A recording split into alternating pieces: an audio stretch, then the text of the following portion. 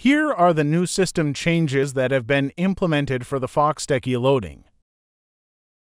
To start, let's first set up the account. To do this, open Chrome or any browser, then log in to your account on the online portal. If you've already set up your account for the new system changes, you can skip this part and move on to the next section, which is how to log in your account. If you haven't, you'll need to fill out this form after logging into your account. This process is mandatory to secure your account. Please fill out the form with necessary details, including your name, address, phone number, and password. Since I haven't set up the password for this account yet, I'll need to create one. Once you're done, tap on Submit.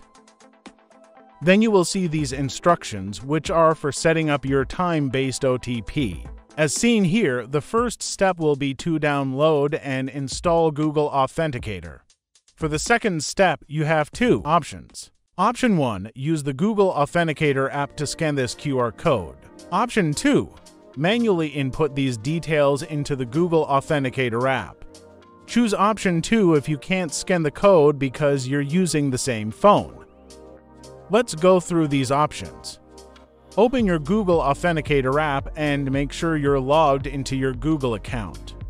For option 1, click the plus icon in the bottom corner of the screen, then select Scan a QR code. Alternatively, you can click the Add a Code button, then select Scan a QR code. After selecting Scan QR Code, point your camera at the generated QR code and ensure it fits within the on-screen box.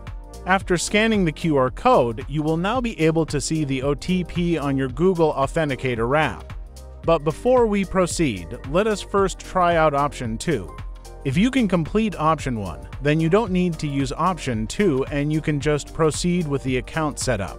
But for those who can't complete the account setup using option 1, you'll need to set up your account using option 2.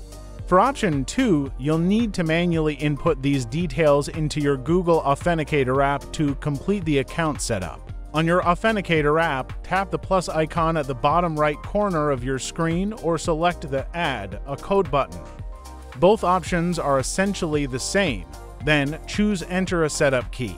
As you can see here, you'll need to enter these account details in their corresponding fields.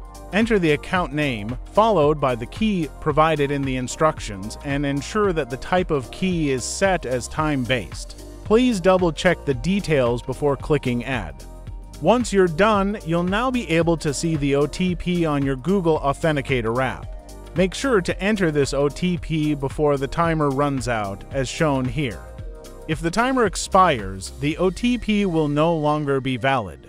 A new one will be automatically generated when the timer expires. You can long press this area to automatically copy the OTP. Then either paste the OTP here or type it in manually. Then click on the Verify button after entering the time-based OTP. If you've reached this part, congratulations, you have successfully set up your account. From now on, the security of your account will be significantly enhanced. Every time you log in, you'll need to enter an OTP in addition to your password. While this adds an extra step to accessing your account, it also greatly helps in preventing account hacking and ensures that your funds remain safe and secure. Please take a picture or screenshot of these backup and recovery codes. You can use these codes when you try to log in your account to the online portal. However, please remember to use these backup and recovery codes only as a last resort. They should be utilized only if you cannot access your phone for Google Authenticator, such as when it's unavailable, unusable, or if you lost your phone and Google account. If you use all of these codes, you won't get any more backup and recovery codes. When that happens, you will now have to contact support. Remember, only use these codes for logging in as a last option, as you won't get any additional backup and recovery codes. Now, I'll demonstrate the new way to log into your account. Just like before, navigate to the online portal, enter your trusted number, then tap Login. Next, you'll need to enter your password. Then you'll need to enter the OTP to proceed. You'll have to open your Google Authenticator app to get the time-based OTP as you'll no longer receive OTPs via SMS. As you can see here, the time-based OTPs are only available for 30 seconds. After 30 seconds, the OTP will expire and can no longer be used to log in to your account. Every 30 seconds, a new OTP will be generated automatically but you'll only receive OTPs if you've linked your account with your Google Authenticator app. If you haven't set up your account yet, please follow the account setup guide. To continue, simply long press this area to automatically copy the OTP. Then paste it, or you can just type it manually. Click Login, and you should now have access to your account.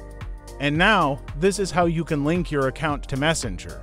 After logging into your account on the online portal, you can link your account to Messenger by clicking on your profile, then selecting Account Settings. Then scroll down till you reach the Extra E-Loading Channels section, and then click the checkbox for Messenger Channel. Afterward, a pop-up containing the steps and instructions will appear. Let's go through these steps one by one. Here, you'll notice that you need to send this authentication token to our Messenger bot. Simply click on this icon to automatically copy the authentication token. Click on this link to be directed to our official Messenger. If the link doesn't work for you, open your Messenger app and type DafoxTech on the search bar. Then, tap on DafoxTech. Once you're here, simply paste the authentication token. Long press here until the paste option appears, then tap on it. Finally, hit send. Next, you will receive an OTP code. Please enter the OTP you received here or simply copy and paste it, then hit send. If you receive this, reply, Congratulations. Your e-loading machine has been successfully linked to your messenger. Now, let's try to process a load transaction using Messenger. As you can see here, we've also received instructions or tips on how to process a load using Messenger. Please follow the format you see here. We simply need to type the recipient's number, followed by a space and then the amount. Hit send and the transaction will be processed immediately. You'll receive this message if the transaction fails. Let's try again following the same format. Enter the 11-digit number, followed by a space, then enter the amount, and finally hit send. Once you receive this message, it indicates that the transaction was successful. Thank you for watching. We hope this video helped you navigate through the recent system changes. If you found this tutorial helpful, please like and subscribe for more guides and tips. If you have any questions, please feel free to leave a comment below or contact our support team.